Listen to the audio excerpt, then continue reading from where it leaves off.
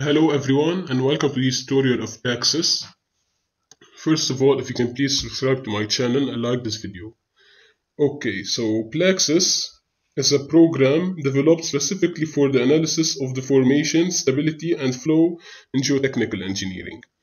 In this tutorial and the next three tutorials, uh, they, they would gonna be uh, tutorials for beginner. I'm gonna talk about the interface of Plaxis and after these four tutorials I'll make some exercise and uh, they will be more developed tutorials. Okay.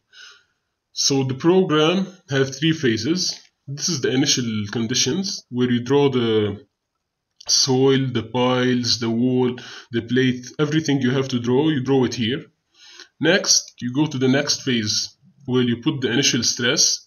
You have two stress the stress of water and the initial stress from the soil and other structure. Then there's the third phase when you calculate the deformation of the structure and the deformation of the soil and the stress of the soil. Thank you for watching this tutorial. If you have any comment, uh, if you have any question, please leave them in the comment box. Don't forget to like and subscribe. See you in the next tutorial. Thank you.